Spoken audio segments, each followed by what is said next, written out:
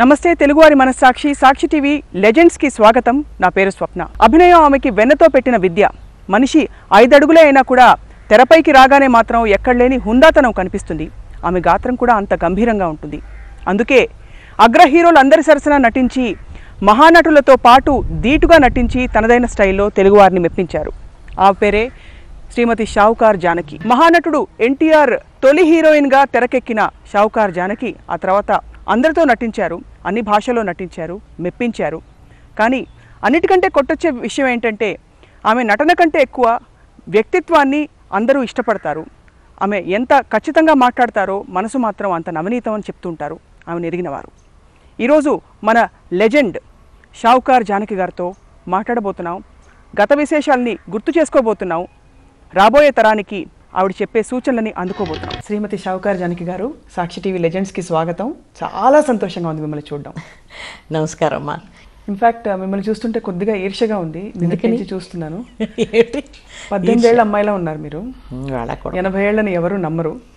I'm touching eighty this year I be completing eighty యాక్చువల్గా ఎనభై పూర్తవుతాయి ఈ డిసెంబర్ పన్నెండో తారీఖుకి. విధిని ఎవరు మార్చలేరు అంటారు కదా జానక్ గారు. అవును. గుణసుందరి కథ. గుణసుందరి కథ కోసం మీకు అవకాశం వస్తే అమ్మవాళ్ళు సినిమా పరిశ్రమకి పంపించవద్దు అని అనుకుని పెళ్ళి చేస్తే బెటర్ అని Hmm. పెళ్ళి చేసి సెటిల్ చేసేద్దాం అనుకున్నారు. చేశారు. కానీ పెళ్ళయ్యాక మీ విధి ఎలా నిర్ణయించిందో పూర్తిగా మారిపోయి మీరు సినీ పరిశ్రమలోకి వచ్చేసారు కరెక్ట్ అది తలుచుకుంటే ఏమనిపిస్తుంది? మీ జీవితం అంతా నిజంగా విధికే ఆపాదిస్తారా? భగవంతుడి సంకల్ప సంకల్పమా? లేక మీ సంకల్ప బలంతో మీరు ఇంత ముందుకు వచ్చారా అది విధితో మీరు జత చేస్తే భగవంతుడి సంకల్పం రెండు కలిస్తేనే ఇలాంటివి జరుగుతూ ఉంటాయి. సో మొదటి సినిమా షావుకారు. అంతకుముందు మీరు రేడియో నాటకాలు వేసి మీ గొంతు అందరికీ పరిచయం. చాలా మీ ఎక్స్ప్రెషన్స్ని మాడ్యులేషన్స్ని విని మిమ్మల్ని అప్రోచ్ అయ్యారు. ఆ సంఘటన ఒక్కసారి మరోసారి గుర్తు చేసుకుంటారా? రేడియో ద్వారానే నాకు పెళ్ళి కూడా జరిగింది నిజంగా చెప్పాలంటే. అవునా? అవునవును మా ఇంటి పేరు టేకుముళ్ళ వారు. టేకుముళ్ళ వెంకోజీరావు కూతురు అని అనౌన్స్మెంట్ చేసి పాలగుమి పద్మరాజు గారి పట్నవాసం నాటకం. అది సీరియల్ లాగా వచ్చేదన్నమాట ఆ రోజుల్లో. అది వేసినప్పుడు నా గొంతు కాకినాడలో ఉన్న అదే మా కాబోయే మా వారు వాళ్ళ ఫ్యామిలీస్ అంతా విని టేకుముళ్ళ వారంటే మన బంధువులు అయి ఉండాలి వీళ్ళు అని అలా అప్రోచ్ అయ్యాయి. ఆ పెళ్ళి కూడా దానివల్లే జరిగింది. కానీ రేడియో అనుభవం మాత్రం నా జీవితంలో నేను ఎప్పుడు మర్చిపోలేను. ఎందుకంటే అది మంచి మీడియం లైఫ్లో. మా మనిషి కనపడకుండా మీరు ఏదో ఊహించుకోవచ్చు. చాలా అందంగా ఉంటుంది ఈ మనిషి అది ఇది అని అలా ఊహించుకున్నట్టున్నారు బిఎన్ రెడ్డి గారు. అలా ఊహించుకొని రేడియో స్టేషన్ ఫోన్ చేసి చూడాలని అడిగినప్పుడు పీలగా సన్నగా ఉంటుందండి. మీరు చూడొచ్చు వచ్చి అంటే అలా వచ్చి నాకు సినిమా అవకాశం వారు గుణసుందరి కథలో ఆఫర్ చేశారు. పదిహేనో సంవత్సరంలోనే నాకు పెళ్ళి చేసేసారు విధి అన్నారు చూడండి. ఆ విధి మళ్ళా ఎలా ఆటలాడుకుంది నాతోటి? ఓ పాపాయి పుట్టిన తర్వాత పరిస్థితుల ప్రభావం వల్ల వారు పనిచేసే అవకాశం లేని పరిస్థితులు అంటే స్వతహాగా కొంచెం ముద్దు బిడ్డలా పెరిగిన వారు అనుకుంటాను అందుకని కొంచెం ఈజీ గోయింగ్ లైఫ్ అయింది. చాలా హ్యాపీగా లైఫ్ లీడ్ చేసే స్వభావం ఆటే కష్టపడే స్వభావం కాదు. అందుకని నన్ను నేను అలా అడిగినప్పుడు తప్పే ఉంది చేయొచ్చు అన్నారు. అదే బిఎన్ రెడ్డి గారు మళ్ళీ నేను అప్రోచ్ అయ్యి అది వారి బ్రదర్తో చెప్పి షావుకార్ చిత్రంలో నాకు నటించే అవకాశం వచ్చిందనమాట అప్పట్లో మీకు కేవలం జీవనోపాధి అని అప్రోచ్ చేశారా మీ కెరియర్ని లేక అంతకంటే ఎక్కువగా రాణించాలి అందరూ అగ్ర తారామణులతో వారితో కలిసి నేను నటించాలి. అట్లాంటి ఉద్దేశం లేనే లేదు. మా సర్వైవల్ కోసం వచ్చిందని జీవితం గడవడానికి కావాల్సింది సంపాదించుకుంటే చాలు అన్న ఉద్దేశంతోనే చివరి వరకు ఇప్పటి వరకు అదే ఉద్దేశం. ఎంత కావాలో అంతే సంపాదించుకోవడం అలవాటైంది. క్యారెక్టర్స్ మీద నాకు వచ్చే పాత్రల మీద ఉన్నంత ఆసక్తి డబ్బు సంపాదించడం మీద ఏనాడు నాకు కలగలేదు. అది కలగకుండా ఉండడమే బహుశా ఇవాళ నా ప్రశాంతతకి నా సంతోషానికి కారణమేమో అని అనిపిస్తుంది. It always felt like life was willing to give you lot more but you didn't accept it at that point అంటే ప్రతి ప్రతి ఘట్టం జరి చూస్తే వెనక్కి తిరిగి మన ఎఫర్ట్ కూడా ఉండాలి కదమ్మా. మన ప్రయత్నం ఉండాలి. మన మనలో ఉన్న పొటెన్షియల్ ఏమిటనేది ఎవరన్నా మన వెనక ఉండి నువ్వు చేయగలవు నీకు ఈ శక్తి ఉంది నిన్ను రాణింపజేస్తాను అనేటువంటి ఒక మంచి బ్యాక్ బోన్ ఒకటి కావాలి.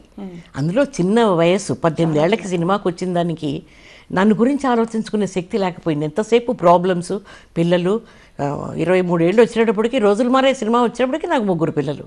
మరి వాళ్ళని చదివించుకొని వాళ్ళకి కావాల్సినవి చేసి వాళ్ళని ఒక పద్ధతిగా పెంచి వాళ్ళని సినిమాల్లోకి తీసుకురావాలని కానీ ఆ సినిమా అట్మాస్ఫియర్లో పెంచకుండా వాళ్ళని వేరే దోవలో పెట్టి పెంచాలన్న ఉద్దేశంతోనే ఉండిపోయాను తప్ప. ఎందుకు అనిపించింది అలాగ మీకు? అంటే సినిమా అట్మాస్ఫియర్కి దూరంగా పెట్టాలని. అప్పటికే మీ సోదరి నటిస్తున్నారు కృష్ణకుమార్ గారు. మీరు నటిస్తున్నారు.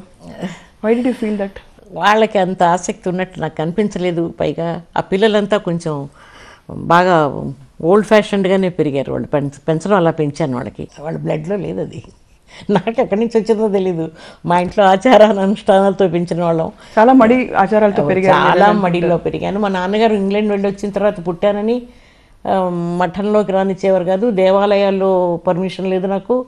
మా నాన్నగారిని దర్భపెట్టి ప్రాయశ్చితం చేసుకోమంటే ఆయన నా ఆత్మశుద్ధి ఉంది. నాకు లండన్లో వెళ్ళి నేను మహాభారతం రామాయణం అంతా లెక్చర్స్ ఇచ్చి ఉండేవాడిని నేను నేను ఐఎమ్ సారీ ఐఎమ్ నాట్ అంటే ఆయన రెబెల్ అయ్యారు. అందుకని నేను ఆయన వచ్చిన తర్వాత పుట్టిందని నేను నైన్టీన్ థర్టీ వన్లో అందుకని నాకు ఈ ఆచారాలు అనుష్ఠానాలు లేకపోయినా నన్ను మాత్రం అందరూ కొంచెం దూరంగానే ఉంచారు ఇలాంటి వాటికి. దేవుడు భక్తి మా మదర్ వల్ల మా తల్లిగారు చాలా భక్తురాలు. అన్ని పూజలు చేసేవారు. మమ్మల్ని ఇబ్బంది పెట్టేవారు కాదు. ఎవరికి ఎట్లా ఇష్టం అంతవరకే. శ్రావణ శుక్రవారాలు చేసేవారు పూజలు అవి చేస్తుండేవారు అంతే తప్ప మిగతా వాటిలో నేను ఇన్వాల్వ్ అయ్యేదాన్ని కాదు. I never gone in deep into these things ఒక విచిత్రమైన కోయిన్సిడెన్స్ మీ జీవిత పరిస్థితుల్ని మీరు తొలుత పోషించిన కొన్ని పాత్రల్ని చూస్తే బాగా కష్టపడే కష్టాలు పడే కష్టపడే అమ్మాయి పాత్రలు. విపరీతమైన జీవితంతో పోరాడే లాంటి పాత్రలు కొంత దుఃఖంతో కూడిన పాత్రలు. ఇవన్నీ మీకు రావడం అన్నది.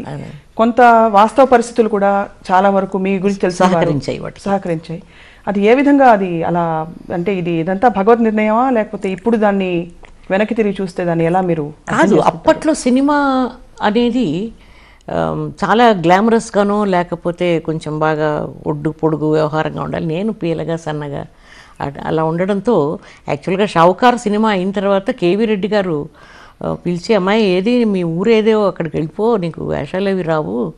మరీ ఐదు పూలు రాణిలా ఉన్నావు నీకు characters Rao we need a stage glamour అది కావాలి అనేవారు. అవి మరీ సంసారపక్షంగా ఉండే మనిషిని. ఆ వేషానికి కూడా సరిపోయావు? ఆ పల్లెటూరు సుబ్బుల వేషానికి షావుకార్లో ఆ క్యారెక్టర్కి సరిపోయావు అన్న అన్నారే తప్ప తర్వాత నువ్వు పనికిరావు అన్న నెగిటివ్ యాటిట్యూడే ఉండింది అందరికీ నా మీద. ఇంత సెన్సిటివిటీ తెర పట్ల కెమెరా పట్ల అది ఎంత సహజంగా ఉంటాయి కొన్ని మీ ఎక్స్ప్రెషన్స్ బాగా అప్పట్లో ఆరితేరిన నటీమణులు ఆ తర్వాత తరంలో కూడా ఎవరు అంత సెన్సిటివ్గా ఉదాహరణకి ఒక సందర్భంలో మీరు కాఫీ అని శివాజీ గణేషన్కి అందిస్తున్న సమయంలో కూడా ఆ. కాఫీ ట్రే వచ్చి అందుకునే పరిస్థితి కూడా మీరు వెంటనే స్ట్రైట్గా తిరిగి చూడకుండా కొంత గ్యాప్ ఇచ్చి అవును.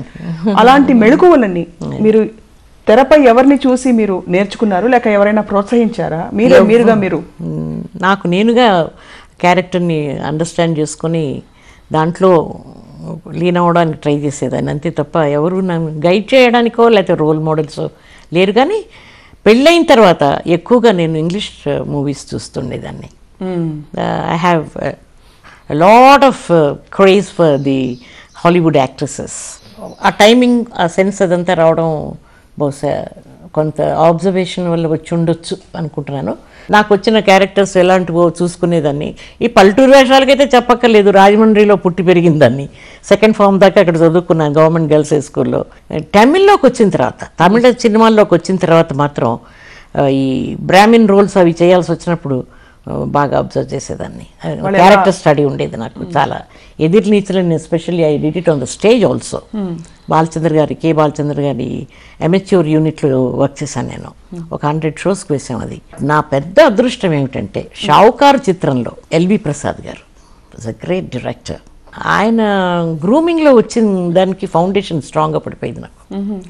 ఆయన యాక్ట్ చూపించేవారు. అలా నాకు ఇద్దరు నాకు నేను మర్చిపోలేని ఇద్దరు గ్రేట్ యాక్టర్స్ ఎవరంటే చిన్న వయసులో ఫస్ట్ పిక్చర్లో ఆయన తర్వాత నా పిక్చర్ నేను చేశాను నా సొంత పిక్చర్ కూడా ఆయన డైరెక్ట్ చేశారు మన బాలచంద్ర గారు కే బాలచంద్ర గారు. పది పదకొండు పిక్చర్లు చేశాను. ఆ timing especially when you do a comedy role timing చాలా అవసరం. అది నేను కామెడీ చేయగలను అని ప్రూవ్ చేసి నేను చేయలేని క్యారెక్టర్స్ నా చేత చేయించింది బాలచంద్ర గారికి. ఇది ముగ్గురు కోడలతో. స్టార్ట్ అయిందా. మీ కామెడీ లేదు ఎదిర్నిచ్చులతో ఎదిర్నిచ్చులతో స్టార్ట్ అయింది. మామా విజయం అని ముగ్గురు కోటల తర్వాత వచ్చింది. ఆ మూడు versions లో నేనే చేశాను. హిందీలో తమిళంలో తెలుగులో. పిల్లల్ని కానీ పిల్లల్ని పెంచుతూ అదే. హీరోల సరసన మళ్ళీ తీసి పారేసే క్యారెక్టర్ మోస్ట్ రోజులు మారే especially no it's almost like heroes role అవును. నాగేశ్వరరావు పక్కన మాటలు కాదు తమాషా కాదు ఆయనతో బాగా యాక్ట్ చేయడం. రోజులు మారాయి తర్వాత అది it was run away hit two hundred and seventy five days ఏమో రన్ అయింది. అది ఆ తర్వాత కన్యాశుల్కం ఒకటి ఆ క్యారెక్టర్ కొంచెం క్రిటిసిజం వచ్చింది నేను చేయగలనా లేదా అని ఆ బుచ్చమ్మ వేషం. బట్ బాగా బ్యూటిఫుల్గా బ్లెండ్ అయింది నాకు కుదిరింది ఆ క్యారెక్టర్ కరెక్ట్గా సో ఇంటిపట్ నుండి కష్టాలు పడే ఈ అమ్మాయి క్యారెక్టర్ ఒక్కసారిగా కలర్ సినిమాలోకి అడుగుపెట్టిన మీ తొలి సినిమాయే మీ ఇమేజ్ని కూడా మార్చేసింది. పూర్తిగా మీరు పుదియ పరవై. పుదియ పరవై. శివాజీ ప్రొడక్షన్ పార్ద జ్ఞాపకం ఇల్లియో ఇల్లయ్యో. అవును కరెక్ట్ అంతేనా? ఆ పాటలో మీ ఎక్స్ప్రెషన్స్ కానీ మీ మూవ్మెంట్స్ కానీ extremely sensitive extremely sensuous beautiful బాగా టర్నింగ్ పాయింట్ మన లైఫ్లో అంతవరకు అట్లా డొమెస్టికేటెడ్ క్యారెక్టర్స్ చేస్తూ వచ్చి ఆయన ధైర్యాన్ని మెచ్చుకోవాలి. శివాజీ గారు రికమెండేషన్ అది. అమ్మాయి she's capable of doing it అంటే దాదా మిరాజ్ ఈ director he objected to it చాలామంది లాట్ ఆఫ్ దెమ్ సెడ్ అదేమిటండి ఏదో ఇంటి పట్టుని ఉండి ఒక చిన్న చిన్న క్యారెక్టర్స్ లేకపోతే కష్టపడే క్యారెక్టర్స్ చేసి అమ్మాయిని తీసుకొచ్చి మీరు గ్లామర్ హీరోయిన్గా చూపిస్తానంటున్నారు. అంటే లేదు somehow I feel she will do it అని. అది ఎంత దూరం నాకు ఎక్లెయిమ్ చేశారంటే జనం నెగటివ్ రోల్ అని నేను భయపడుతున్న టైంలో ఇంకో హీరోయిన్ కంటే ఈ ఈ క్యారెక్టర్ పేరు వచ్చేసింది ఆ పిక్చర్లో I was so thrilled about it and ఆ తర్వాత తాగేసి ఆ మైకంలో పడిపోవడం ఒక్కోటి క్రూరర్ సింగపూర్లో పాట పాడుకునే అమ్మాయి ఆ మిలియనర్ని పెళ్ళి చేసుకోవడం కోసం కాఫీ ఆర్డర్ చేస్తుంది నీకోసం జీవితం అంతా పాడతాను అని చెప్తుంది ఏదేదో చెప్తుంది అంతా but she cannot keep up word because she's an addict alcoholic ఆ రోజుల్లో ఆ క్యారెక్టర్ చేయడం అంటే అసలు గట్స్ కావాలి కదా? మీరు ఒక వివాహిత అయ్యండి. అండ్ సెన్సిటివ్ క్వశ్చన్ ఇక్కడ. మీ వారు ఎప్పుడు అబ్జెక్ట్ చేయలేదా? మీరు చేసే పాత్రల వివరాలు చూసి ఎంత క్లోజ్ సీన్స్ ఉన్నాయి హీరోలతో? బిగినింగ్ డేస్లో కొంచెం ఇబ్బందిగా ఫీల్ అయ్యేవారు షావుకార్లో. ఇవాళ ఏమిటి సీన్ అంటే రామారావు గారికి నోటికి అది తాంబూలం అందించే సీను పెళ్ళిలో వడ్డాణం పెట్టుకున్నాను. పోలే నేను నీకు వడ్డాణం కొనివ్వలేకపోయినా సినిమాలో వడ్డాణం అది ఇతడు వడ్డాణం అయినా సంతోషంగా ఫీల్ అయిపోయి ఇంటికి వచ్చావు కదా అని ఎక్కిరిచ్చేవారు నన్ను. అని నేను చెప్పిన తర్వాత వద్దు మిమ్మల్ని బాధపెట్టే విషయం ఇది. ఇదేమో నాకు ప్రొఫెషన్ ఇట్స్ మై కెరియర్ అంతకు నేను దాని గురించి ఏం ఆలోచించడం లేదు. మీరు ఇవన్నీ చూసి ఇంటికి వెళ్ళి మదనపడి బాధపడక్కర్లేదు. డోంట్ ప్లీజ్ డోంట్ కమ్ ఇంట్లోనే ఉండిపోండి. మీరు ఏదైనా వేరే ఉద్యోగం ఉంటే చూసుకోండి అని చెప్పి నేను I kept him away from it actually ఇంకా ఆ తర్వాత నెరేట్ చేయడం మానేశాను నేను. ఏం జరిగింది అని? ఇంట్లో కొంత డెఫినెట్గా మీ మీద ఇంపాక్ట్ ఉంటుంది కదమ్మా. You know it as a Yeah. As a woman you would know when you're getting in a role అది మీ మీద కొంత ప్రభావితం ఉంటుంది కదా. అది ఇంటికి వెళ్ళి నేను అవన్నీ మెంగుకొని ఆ సీన్ నెమరేసుకొని ఇలా సీలింగ్ వైపు చూస్తూ ఇలా చేశాను ఇలా చేసుంటే బాగుండేదేమో అనుకునేదాన్ని తప్ప ఇంకెవరితో నేను డిస్కస్ చేయలేదు. పిల్లలు చిన్న చిన్న పిల్లలు వాళ్ళు వాళ్ళతో ఏం మాట్లాడతాం ఏం చెప్తాం. పైగా నేనేదో ఆ ఇరు కోడుగలైన పిక్చర్లో కలెక్టర్ వేషం వేసి కొంచెం డామ్ డూమ్ అని కొంచెం మాట్లాడి చాలా స్టైలిష్గా చాలా స్ట్రిక్ట్ కలెక్టర్ క్యారెక్టర్ అది అది చేసి నేను ఇంటికి వెళ్తే maybe once or twice I must have behaved like a collector at home. వీళ్ళంతా తెల్లబోయి పిల్లలు కంగారు పడి మమ్మీ ఏంటి మమ్మీ ఇలా మాట్లాడుతున్నావు? అని అనే కాడికి వెళ్ళింది వ్యవహారం ఒకసారి అంటే ఎమోషనల్లీ మీరు అంత లీనం అయిపోయేవారు character particular role I think yes నన్ను బాగా ప్రభావితం చేసిన క్యారెక్టర్ అదొకటి. నా own production where I played the mother and daughter కూతురు కోసం తన లైఫ్ అంతా సాక్రిఫైస్ చేసి తన లవ్ను కూడా వదిలేసుకుంటుంది అనమాట అలాంటి ఆ రెండు క్యారెక్టర్స్ మాత్రం ఇంకా చాలు. దీని తర్వాత ఇంక పెద్దగా యాక్ట్ చేసి మనం ఓడబడిచేదేమీ లేదు అని వదిలేసిన రోజులు ఉన్నాయి. స్టాండర్డ్స్ని రూల్స్ని రీసెట్ చేశారు. ఒకటి హీరోయిన్ మీరు అన్నట్టు పొడుగ్గా ఉండాలి. మీ మీద ముద్ర మీరు. పొడుగు బక్సంగా ఉండాలి. ఉండాలి. ఏమీ లేవు. రెండోది పెళ్ళి కాకూడదు అదొకటి. రెండోది గ్లామర్ స్వప్న? ఇవాళ పెళ్ళి అయితే అసలు మార్కెట్ పడిపోతుంది అంటున్నారు. పెళ్ళి చేసుకొని నేను వచ్చి నేను ఇన్నాళ్ళు సస్టైన్ అయ్యానంటే నాకు ఆశ్చర్యం. Sixty seventy seventy two seventy five దాకా I was ruling supreme in Tamil వాళ్ళకి ఇవన్నీ ఏమీ లేవు. పర్ఫార్మెన్స్ డిక్షన్ డైలాగ్ డెలివరీ వాళ్ళకి మంచి ఆర్టిస్ట్ అంటే? ఆర్టిస్ట్ అంటే వాళ్ళు ఏ భాషలోంచైనా సరే దే ప్రిపేర్ టు టేక్ అన్ని భాషలు మీరు సినిమాల కోసం నేర్చుకున్నారా? మదర్ అంటే యాక్చువల్లీ టంగ్ ఇస్ కన్నడ కదా? Mother tongue is Kannada but పుట్టి పెరగడం ఆంధ్రాలో రాజమండ్రిలో ఉండడంతో ఆ వచ్చిన కొద్దిపాటి తెలుగు అట్లా వచ్చింది. తర్వాత మెడ్రాస్లో మా నాన్నగారు పనిచేస్తున్నప్పుడు గవర్నమెంట్లో పనిచేస్తున్నప్పుడు మమ్మల్ని ఆంధ్ర మహిళా సభలో చేర్ చేర్పించారు. లెక్కల్లో చాలా వీక్ నేను. అందుకని లెక్కలు లేని చదువు ఎక్కడైనా ఉందా అంటే అక్కడ ఉండింది నాకు. సంస్కృతం తీసుకుంటే లెక్కలక్కర్లేదు. మన వెంకట పార్వతీశ కవులు ఉండేవారు. రజనీకాంతరావును నళినీకాంతరావు గారు వాళ్ళు. వాళ్ళంతా కొద్దిగా సంస్కృతం అది నేర్పారు కొంచెం తెలుగు నేర్పారు. తెలుగు అంతగా రాదు. ఎందుకంటే మా నాన్నగారు వచ్చిన తర్వాత మా చెల్లెలు కృష్ణ నేను ఇంగ్లీష్లోనే మాట్లాడుకునేవాళ్ళం ఇంట్లో. వచ్చి నేను కాస్త భాష ఏదో ఇంగ్లీషే వచ్చేది అప్పుడు ఆ రోజుల్లో. అదంతా వదిలేసి కొంచెం తెలుగు నేర్చుకోవడం ఆంధ్ర మహిళా సభ. తర్వాత ఈ రేడియో నాటకాల వల్ల కొంచెం పాలిష్ వచ్చిందనమాట. అది మన ప్రయత్నం కావాలమ్మా. అన్ని భాషలో నేనే మాట్లాడుకున్నాను హిందీ కూడా నాకు డబ్బింగ్ లేదు. ఇంట్లో ఉండి ఉండని సపోర్ట్తో మీరు జీవితంతో లేదని అనండి. ఎందుకు మళ్ళీ? అంత నాసుగ్గా వయ్యారంగా ఎందుకు? సపోర్ట్ లేదు. Support లేదు. లేదు లేదు సినిమాలో యాక్ట్ చేయడానికి సపోర్ట్ వచ్చిన తర్వాత ఏమీ సపోర్ట్ లేదు. When I trusted people I was let down very badly financially also ఏమంటే షూటింగ్కి వెళ్ళిపోయి ఇరవై గంటలు పనిచేసేవాళ్ళం ఇది అయిపోగానే ఇంకో స్కెడ్యూల్ వచ్చేది. ఈ లోపల నిద్ర ఉండేది కాదు. కొన్ని కొన్ని ఓవర్లుక్ చేసినప్పుడు అడ్వాంటేజ్ తీసుకొని ఆర్థికంగా బాధ దెబ్బతిన్నాను నేను. దాన్ని పట్టించుకోలేదు. ఎందుకంటే దాని మీద యావలేదు నాకు. మమకారం లేదు దాని మీద. మనిషికి ఎంత కావాలి? ఇంతే సంపాదించుకుంటే చాలు కదా. ఆ, ఇలా చేశారా? ఇంకోసారి ఇలాంటి తప్పు జరగకుండా చూడండి. ట్యాక్స్ కట్టాల్సిన చోట కట్టకుండా ఆ డబ్బును వేరేలాగా వాడి ఇబ్బందులు వచ్చేవి. ఈ సినిమాలోకి వచ్చిన తర్వాత చాలా చూశాను నేను. ఈ మోసం చేయడం డబుల్ టాక్ మీ ముందు ఆహాహా ఏం చేశారంటే అండ ఏంటయ్యా ఆవిడ వేసుకున్నావు? ఎందుకు? ఇంకోళ్ళు వేసుకుంటే బెటర్గా ఉండేది నీ సినిమా. మార్కెట్ అని మాట్లాడేవారు మా రోజుల్లో. They used to talk about market నెత్తి మీద గంప పెట్టుకొని వస్తావా మార్కెట్ తీసుకుని మనం? అందుకే నాకు కొన్ని సినిమాల్లో మీరు చేసిన సినిమాలకి ఇతర భాషలోకి డబ్ చేసినప్పుడు ఇంకోళ్ళని తీసుకోవడం. డబ్ కాదు రీమేక్ చేసినప్పుడు అసలు నన్ను సైడ్ లైన్ చేసేసారు. రోజులు మరే తెలుగులో నేను సూపర్ డూపర్ అండ్ రాజేశ్వరరావు గారితో కాదు అసలు మొత్తం ఆ సినిమాలో నాకు పేరు వచ్చిందంటే చాలా ఆశ్చర్యం నాకు. అలాంటిది తమిళంలో అప్పటికే నేను ఎస్టాబ్లిష్ అయి ఉన్నాను. మంచి పేరు శివాజీ వాళ్ళతో యాక్ట్ చేస్తున్నాను. మోడర్న్ థియేటర్స్ పిక్చర్స్ చేస్తున్నాను. తమిళ్ళో తీయాల్సి వచ్చినప్పుడు అంజలిదేవి గారిని వేసుకున్నారు. హౌ డూ ఎక్స్ప్లెయిన్ దిస్ అవి కొన్ని కొన్ని మనకి అసలు అర్థమే కావు వీళ్ళు చేసే పనులు. విపరీతంగా పోటీ ఉండేదా ఇతర నటీమణులకి మీతో? అంటే here is a talent who who has no boundaries మీరు పాత్రలో ఎంతగా లీనమైపోతారంటే? అది నాకు తెలియదు కదా. వాళ్ళు అనుకునేవారేమో నాకు తెలియదు అది. మీ దాకా వచ్చి చేరేవేమన్నా తెలిసేవా? అంటే వాళ్ళు నా దాకా వచ్చి చేరింది ఒకటే అమ్మా సముద్రాల రాఘవాచార్య డిఎల్ నారాయణ దేవదాసులు పార్వతి క్యారెక్టర్ బుక్ చేసుకుని అవును. దుస్తులు కుట్టి అంతా అయిన తర్వాత సడన్లీ రేపు పొద్దున్న షూటింగ్. పాట కూడా ప్రాక్టీస్ చేసి మూమెంట్స్ అవి ప్రాక్టీస్ చేశాను. Next day మార్నింగ్కే I get a letter from them you are not doing this role you are not in this film అని డిసప్పాయింటెడ్ కాదు. పది రోజులు టోటల్ టర్మాయిల్లో పడిపోయాను. మనిషిని అసలు ఏమిటి? What is this why did this happen కనీసం ఒక వ్యాలిడ్ రీజన్ ఇచ్చి నాకు ఇలా ఎందుకు చేశాము అని చెప్పుంటే పర్వాలేదు. డైరెక్ట్గా ఇంటరాక్షన్ ఉండేదా ఇతర నటీమణులతో మీకు? ఉన్నప్పుడు వాళ్ళ స్పందన మీ పట్ల ఎలా ఉండేది? స్టార్టింగ్ ఫ్రమ్ మీ ఓన్ సిస్టర్ కృష్ణకుమారి గారు. ఎందుకంటే ఇంట్లో అక్కా చెల్లెలు. తెర మీదకి వచ్చేసరికి ఇంకొక నటి ఇంకొక అవకాశం నాకు రావచ్చు అనే భావనే ఉంటుంది కదా. ఖచ్చితంగా. సహజమైన మానవ సహజం అట్లాంటిది జరగలేదు. ఎందుకంటే పెళ్ళయిన తర్వాత నేను మాకు విడికాపురం అవడంతో కాంటాక్ట్స్ చాలా తక్కువ ఉండేవి. She was more with brothers and sisters and మా మదర్ వాళ్ళతో ఉండేవారు. నేను మా వారు నేను మా పిల్లలు మేమంతా సపరేట్గా వచ్చిన ఇంట్లో ఉండేవాళ్ళం. అందుకని అసలు ఇంటరాక్ట్ అవ్వడానికి ఛాన్సే లేదు. పైగా సిబ్లింగ్స్లో అలాంటి జలసీ కానీ పోటీలు కానీ లేకపోయినా తన ఎఫ్ఐఆర్స్ మేనేజ్ చేసే కొంతమంది అవాయిడ్ రిస్క్ వచ్చేసారు. క్రియేట్ చేశారు. చేసినప్పుడు కూడా నేను అనుకునేదాన్ని నాకు ఎలాంటి రోల్స్ నప్పుతాయో అవే ఇస్తారు. ఒకరితో పోటీ అని నా నాదేమీ లేదు.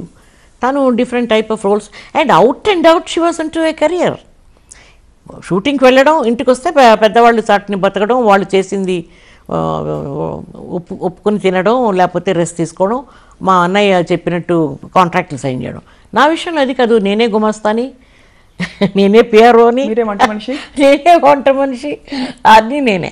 అందుకని ఇది మల్టీఫెసెటెడ్ ఇడియట్ లాగా తయారయ్యాను నేను చివరికి. So there was no comparison with my sister at all నేను ఎప్పుడో ఒకసారి ఆరోగ్యం చెడి హెల్త్ బాగాలేక ఇంటికి వెళ్ళినప్పుడు కూడా ఆ డిఫరెన్స్ ఫీల్ అయ్యాను నేను ద ట్రీట్మెంట్ పెళ్ళైన తర్వాత వస్తే ఎట్లా ఉంటుందో పుట్టింటికి వెళ్తే ట్రీట్మెంట్ ఎలా ఉంటుందో అది కూడా రుచి చూసాను నేను. So I said I should never go back ఏ ఆడది చేయకూడని తప్పు ఏదైనా ఉంటే జీవితంలో ఒక్కసారి పెళ్ళి చేసి పంపించిన తర్వాత పుట్టింటిని మర్చిపోవడం చాలా మంచిది. You should forget the parents unless they very loving parents ఏదొచ్చినా నేను అలా పట్టు ఆదుకుంటాం అని చెప్తే తప్ప అసలు కోఆపరేషన్ లేని వాళ్ళను అండర్స్టాండింగ్ లేని పుట్టింటికి వెళ్ళకూడదు అసలు. వాళ్ళకి భారం అవుతానన్న ఇది కనిపించింది. నా అడ్వైస్ ఎప్పుడూ అదే. ఒక్కసారి డిసైడ్ చేసుకుని పెళ్ళి చేసుకుని వెళ్ళిపోతే ఆ సైడ్ క్లోజ్ సైడ్స్ ఉండడం బెటర్ కానీ ఇది మీ డెసిషన్ కాదు కదా మీ పెళ్ళి మీరు చేసుకోవాలనుకున్న పెళ్ళిని చేయనివ్వలేదు. తల్లిదండ్రులు ఇఫ్ ఇట్స్ నాట్ డెసిషన్ కాకపోయినా మరి అంతటితో మరి ఆరుగురు ఫ్యామిలీ ఉన్న వాటిలో ఒకసారి వదిలించుకుంటే వదిలించుకున్నట్టే లెక్కది బాధ్యతలు పైగా బాగా బతికిన ఫ్యామిలీస్ అవన్నీ బాగా తిని తిని పాడు చేసిన బ్రాహ్మణ ఫ్యామిలీస్ ఇవి అంతా ఏమీ లేదు చివరికి ఏం లేదు. అందరూ మేమంతా రావడానికి కారణం అసలు మరి ఆర్థిక పరిస్థితులే కదమ్మా. మా సిస్టర్ వచ్చినా నేను వచ్చినా కూడాను. She'd she'd a very big family నేను విక్రిస్తుండేదాన్ని కృష్ణకుమారి సత్రం ఎలా ఉంది అని అడిగేదాన్ని ఎప్పుడైనా. ఇంటి నిండా చుట్టాలు జనం సొంత వాళ్ళును. అలాంటి పరిస్థితుల్లో మేమందరం కష్టపడ్డాం. తను కష్టపడింది నేను కష్టపడ్డాను. కానీ ఇవాళ మేము బంగారం కంచాల్లోనే తిన్నాము. మేము ఆకాశం నుంచి ఊడిపడ్డాము అని చెప్పడం చాలా తప్పు. కానీ ఇది ఇది నిరంతరంగా మనకే ఉంటుందని ఏనాడు అనుకోలేదు నేను.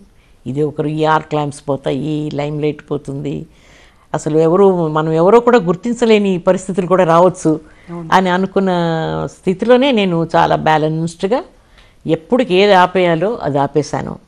ఎప్పుడు ఏది చెయ్యాలో అది చేశాను. దీన్ని మించి జరిగినవి చాలా ఉన్నాయి లైఫ్లో.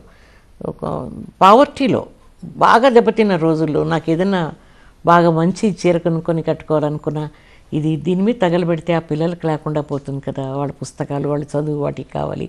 మంచి మంచి గ్యాప్స్ వచ్చేసేవి. సినిమాలకి సినిమాలకి మధ్య గ్యాప్లు. దట్ వాస్ వెరీ పెయిన్ఫుల్ ఏదైనా చేయొచ్చేమో ఇంకేదైనా ఉద్యోగంలో వస్తే ఇంకో ఉద్యోగం వెతుక్కోవచ్చు. సినిమాల్లో వేషాలు రాపితే మనం మనల్ని వద్దనుకున్నప్పుడు మనం ఎలా మనం కాదు వద్దనుకోవడం వాళ్ళే వద్దనుకుంటారు. ఇప్పుడు క్యారెక్టర్ చూసింగ్లో నేను వద్దనుకోవచ్చు.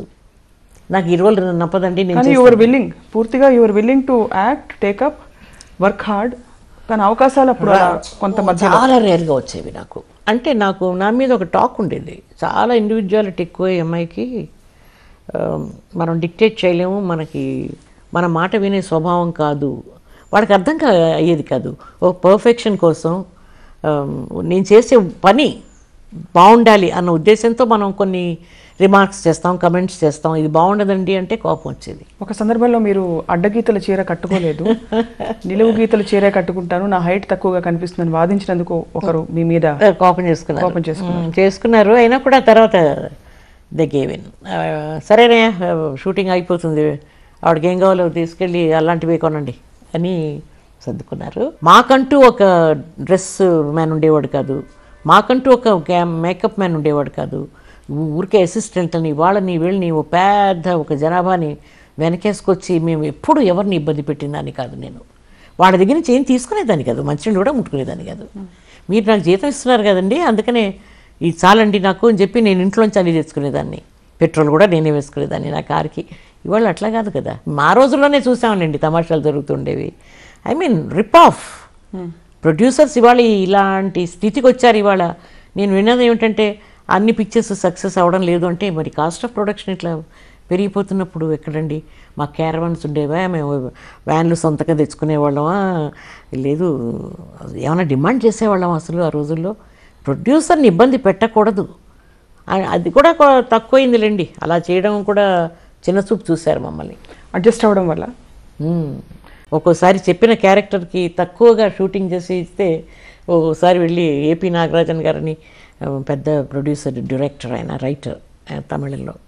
మీరు చెప్పినంత తీయలేదు సార్ నా షార్ట్స్ అవిని శివాజీతో క్యారెక్టర్ నాది. నేను సహన్ డబ్బే తీసుకుంటాను నాకు వద్దని చెప్పి వదిలేసి వచ్చాను సార్. అలా కూడా అలాంటివన్నీ చేసేదాన్ని నేను. అది తప్పు.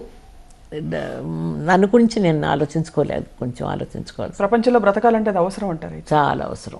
చాలా అవసరం. అందుకని ఎవరిని మనం ఇబ్బంది పెట్టకుండా జాగ్రత్త పడడం ఎంతైనా అవసరం.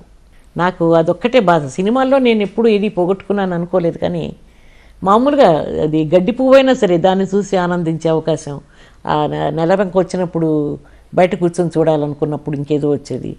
నేనేదో రిలాక్స్ అవుదాం అనుకునేట ఇంట్లో ఇంట్లో ప్రాబ్లమ్స్ వచ్చేవి. ఆ చిన్న చిన్న చిన్న ఉంటాయి చూడండి చాలా సరదాగా మనం ఎంజాయ్ చేసే వస్తువులు. వాటికి దూరం అయిపోయాను నేను. ఆ నైసిటీస్ అన్నీ పోయాయి లైఫ్లో. అయినా సరే కొన్ని మాత్రం వదలలేదులేండి. I'm very fond of perfumes బాగా జుట్టు బాగా పెద్దది ఉండేది అన్ని పూలు నేనే కట్టి తల్లో పెట్టేసుకునేదాన్ని ఎవరికి. I was very selfish with flowers and perfumes అవన్నీ పోయి అలాంటి ఆలోచన ఉండకూడదని ఈ- స్టైల్కి వచ్చేసాం మనం ఇప్పుడు. అదే. సినిమా ఇండస్ట్రీలో కాస్టింగ్ కౌచ్ అనే కాన్సెప్ట్ ఉందని మీరు నమ్ముతారా? ఆ రోజుల్లో ఎప్పుడూ లేదు. ఇవాటి సంగతి నాకు తెలియదు ఆ రోజుల్లో ఎప్పుడు అసలు అంటే. అంటే చాలా మంది వీలైన వాళ్ళు తప్పించుకుని తిరిగేవారు. అలాంటి పరిస్థితులు రాకుండా వారి దాకా? ఇప్పుడు అన్నీ కౌచ్ వితనేగా అన్నీ ఇప్పుడు వస్తున్నాయి అనుకుంటాను నాకు తెలీదు. అంటే I lost touch with the present film industry ఒక ఆన్లుక్కర్గా ఏదో చూడడం తప్ప ఇలాంటివన్నీ ఎక్కువ అయిపోయాయి అంటారా? నాకు అసలు ఐడియా లేదు ఎందుకంటే but during those days were women respected enough film ఇండస్ట్రీలో అబ్సల్యూట్లీ ఆ రెస్పెక్ట్ ఇవాళ ఎక్కడుందమ్మా? ఆ రోజుల్లో ఎంత అపోహ ఉండేదంటే సినిమా వాళ్ళంటే విలేసేవారు. నిజంగా అది పరిశ్రమ అది. సిన్సారిటీ వాళ్ళ behaviour towards the lady artist అసలు ఎంత మర్యాద ఉండేదంటే మనం మన ఏదో మనం ఉద్యోగం చేసుకొని మన ఇంటికి వెళ్ళిపోతున్నాం అన్న థాటే తప్ప వేరే వేరే ఇలాంటి అసలు ఫీలింగ్స్ వచ్చేవి కావు. ఇవాళ it is all inclusive package package డీల్లోనే వెళ్తున్నది అంతాను. You get one buy one free get one free ఇలాగే వెళ్ళిపోయింది ఇప్పుడు.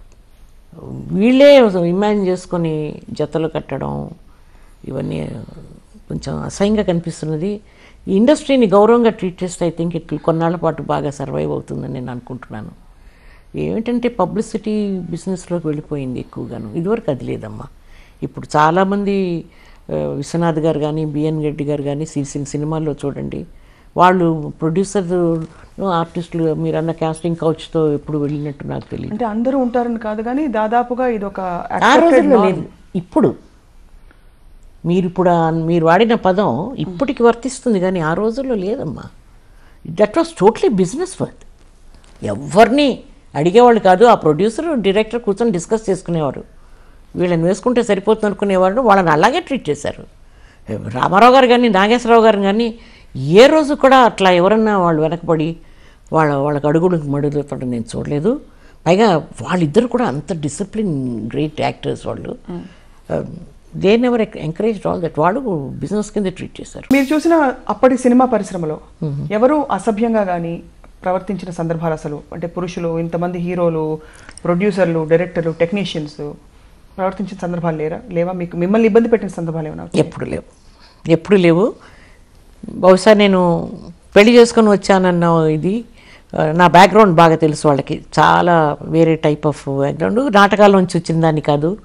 నలుగురితో పరిచయం ఉండి మూవ్ అయ్యి వచ్చిన దాన్ని కాదు అన్న దాని అది కూడా కారణం అయి ఉండొచ్చు. కానీ జనరల్గా నేను నా ఆబ్జర్వేషన్లో ఆడదానికి ఆ రోజు ఇచ్చిన రెస్పెక్ట్ వాళ్ళు చూసే పద్ధతి ఆ మర్యాద ఇవాళ పొరపాటున కూడా లేదు. మన వాళ్ళే అసలు ఎగబడుతుంటే లేడీస్ సైడ్ నుంచి కూడా తప్పు ఉందమ్మా ఇప్పుడున్న వాళ్ళల్లో. ఇది షో బిజినెస్ నేను తప్పని నేను అనడం లేదు. బట్ దానికి కూడా ఒక you should have a demarcation somewhere that you don't lose your entity నువ్వు ఒక- ఆడదానిగా నీకున్న గౌరవం లేకుండా నువ్వు ఇష్టం వచ్చినట్టు స్టేట్మెంట్స్ ఇచ్చి ప్రీ మ్యారిటల్ రిలేషన్షిప్ తప్పు కాదు. Why do you bring all this into discussion? ఎందుకు నీకు ఎందుకు అవసరం వచ్చింది? మనం కాన్సన్ట్రేట్ చేయాల్సింది ఒకటే. మాతృత్వం చచ్చిపోయింది ఇవాళ. వాళ్ళు పెళ్ళిళ్ళు చేసుకోకుండా ఉండబట్టు అఫ్కోర్స్ నాకు కూడా పెద్ద I don't very much believe in the institution of marriage అప్పుడు పదిహేను ఏళ్ళకి పెళ్ళి చేశారు వాటి సరిపోయింది కానీ బికాస్ ఆఫ్ యువర్ మ్యారేజ్ అంటే no not at all not at all I'm not at all bitter నాకేమీ కోపం లేదు. అది జరగాల్సి ఉండేది జరిగింది వారి వల్ల నాకు ఆ ముగ్గురు పిల్లలు ఈ ప్రపంచంలోకి రావాల్సి ఉంది వచ్చారు. యాజ్ అ మదర్ నా డ్యూటీ ఏమిటో నేను చేశాను. భార్యగా నేను పెద్దగా గ్రేట్గా నేను ఏదో సాక్రిఫైస్ చేసేసి నేను ఏదో గీతలు గీసేసుకొని సీతాదేవిలాగా బతికానని అబద్ధాలు చెప్పడానికి మాత్రం నాకు ఇష్టం లేదు. I had my own idiosyncrasies I had my own shortcomings నా వీక్నెసెస్ నాకు ఉండేవి. I suck up to it sometimes yes I did ఈ పరిస్థితుల్లో మీకు ఇంట్లో కష్టమైన పరిస్థితుల్లో వెలితిని భర్తీ చేసుకోవడానికి మీరు ప్రయత్నించాను. విడిపో విడిపోయే స్టేజ్ వచ్చేసాక మీ పెళ్ళిలో? విడిపోయే స్టేజ్ వచ్చినా కూడా పిల్లల కోసం like any other Indian women Hindu women లాగా నేను అన్నీ భరించుకొని కష్టాలైనా సుఖమైన ఒక పక్క అన్యాయం జరిగిపోతున్నా నాకు తెలిసి చాలా తప్పులు జరుగుతున్నా ఇంట్లో. I just kept quiet because ఇంకా ఎప్పుడు నేను రెబెల్ అయ్యానంటే చెయ్యని దానికి నువ్వు చేసావు అని పదే పదే వేలెత్తి చూపించినప్పుడు నాలో మార్పు వచ్చేసింది నేను. I said like I'm like any other human body I have the same feelings I have the same sentiments emotions అవి ఉంటాయి. And especially when you're doing working with so many beautiful heroes naturally you would be tempted to I mean talk to them be very close to them what's wrong with it మీపై ఒక comment వచ్చేది అప్పట్లో. మీరు పురుషులతో ఎక్కువ మాట్లాడతారు స్త్రీలతో కంటే అండి. దట్స్ ట్రూ వెక్కిరించేవారు కూడా నన్ను. ఎందుకంటే వాళ్ళతో మాట్లాడితే జెండర్ డిఫరెన్స్ ఉండేది. ఐ వుడ్ నాకు వేరే విషయాల మీద పరిజ్ఞానం ఉండేది వాళ్ళతో మాట్లాడినప్పుడు. ఈ ఆడవాళ్ళతో మాట్లాడితే ఏమండి ఇవాళ వంట ఏం చేశారండి? ఎన్ని బంగారు గాలు చేయించుకున్నారండి? ఎన్ని చీరలు ఉన్నాయండి మీ వార్డ్రోబ్లో? మీకు ఎన్ని కార్లు ఉన్నాయండి మీరు ఎన్ని కోట్లు సంపాదించారండి? దిస్ కైండ్ ఆఫ్ ఈ మార్కెట్ టాక్ ఉంటుందండి ఈ షాపు. అది నాకు ఎందుకో మొదటి నుంచి ఇష్టం లేదు Swapna. I never believed in all ray okay you need something నీకు ఎంత కావాలి? హ్యాపీగా పీస్ఫుల్గా సంతోషంగా బతకడానికి ఓ మనిషికి ఎంత కావాలి? మగవాడితో మాట్లాడండి ఈ మాటలు రావు. వేరే వేరే అంటే definitely they will talk about politics they will talk about world affairs they will talk about so many things about life and child marriages ఆడవాళ్ళలో ఎందుకు ఈ ప్రవర్తన వచ్చిందని మమ్మల్ని క్రిటిసైజ్ చేసి వాళ్ళు మాట్లాడుతున్నప్పుడు నాకు చాలా ఎలైటెడ్గా ఫీల్ అయ్యేదాన్ని. నిజం అండి అలాంటి వాళ్ళు ఉన్నారు. తల్లి మహాశక్తి అంటారు ఆడది. ఒక పిల్లల కోసం తను జీవితాన్ని రూయిన్ చేసుకొని పిల్లల్ని బతికించుకుంటుంది. ఇంకో తల్లి తన ప్రియుడికి అడ్డొచ్చిందని చెప్పి గొంతు కోసేసి కాలువలో పడేస్తుంది. ఒకటేమో వాషింగ్ మిషన్లో పడేస్తుంది. ఒకటేమో తందూరి అవన్లో పడేస్తుంది పిల్లల్ని. అది తల్లి ఎలా అవుతుంది అసలు? మాతృత్వం చచ్చిపోయింది అని నేను మొగాడితో మాట్లాడగలను ఈ ఈ విషయాలు. అట్లాంటి ఆడవాళ్ళని if you catch them red handed shoot them తల్లి అంటే మనం ఎలాంటి మాతృత్వం అనేది మనం ఎలా డెవలప్ చేసుకున్నాం? నా జీవితం అంతా నా పిల్లల కోసం నాకు ఇన్ని కష్టాలు వచ్చినా కూడా ఇంకో పెళ్ళి చేసుకోవాలి అని థాట్ రాకపోలేదు. నా డివోర్స్ అయిన తర్వాత అనుకున్నాను. కానీ నా పిల్లలకి సరైన తండ్రి రాకపోతే తండ్రి అవుతాడు అసలు వాడు. It be a step father ఆ పిల్లల్ని సరిగా చూసుకోకపోతే రేపు నేను ఏడ్చేది నేను వాళ్ళు కాదు. వాళ్ళు పోతారు పెద్దవాళ్ళు అయిన తర్వాత ఇదే కారణం చేత ఆకర్షణలు వచ్చినా కూడా మీరు ఆపుకున్నారా? వెల్ ఆకర్షణ to the extent of wedlock అనేది మానేసుకున్నాను నేను. ఎస్ పెళ్ళి అనే ఆ ధోరణి లేకుండా ఆ ఆ దృక్పథం లేకుండా నా లైఫ్ వెళ్ళిపోయింది. మీ పరిస్థితిని చూసి మిమ్మల్ని అప్రోచ్ అయిన వాడు చాలా మంది ఉండుంటారు అంటే ఉన్నారు. ఉన్నారు. ఎవరని మనం వాళ్ళని ఇప్పుడు బయటికి తీసుకురావడం మంచిది కాదు కానీ ఉన్నారు. వద్దండి ఎందుకంటే నాకు ఫ్యామిలీ ముఖ్యం నా పిల్లలు ముఖ్యం. ఎమోషనల్గా నువ్వు ఎక్కడైనా అట్రాక్ట్ అయినప్పుడు నెక్స్ట్ ఇమీడియట్గా నా ముగ్గురు పిల్లలు నా కళ్ళ ముందుకు వచ్చేవారు. వీళ్ళు ఏమైపోతారు? నేను ఏమైనా తప్పు చేసి నేను కనుక వీళ్ళని అబాండన్ చేసేసి వదిలేసి డిస్కార్డ్ చేసేస్తే నేను ఎలాంటి తల్లిని అవుతాను? ఇప్పుడు తల్లిని గురించి ఇంతసేపు నేను లెక్చర్ కొట్టాను.